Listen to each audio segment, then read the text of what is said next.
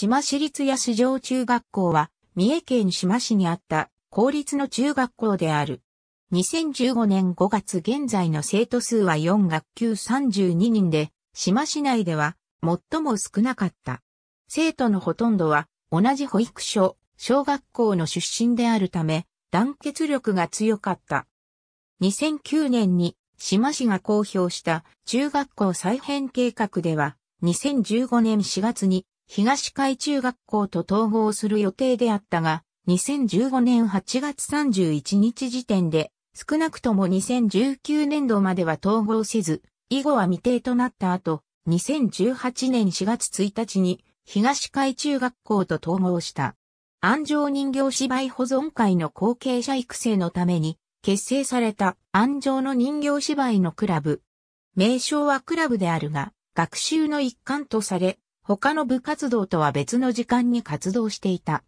2011年の部員数は16人で例年より多かったので、7年ぶりに多人数を必要とする演目、鎌倉三大記、三浦の女母別れの段を上演できた。活動は5月から始められ、9月15日の発表本番に向けて夏休みからは、平日のほぼ毎日練習を行った。三重県教育委員会事務局教育総務課35ページ。AB 島市市長皇室編、22ページ島市、17ページ、中学校再編計画スケジュール。島市教育委員会。2015年11月29日時点のオリジナルよりアーカイブ。2015年11月29日閲覧。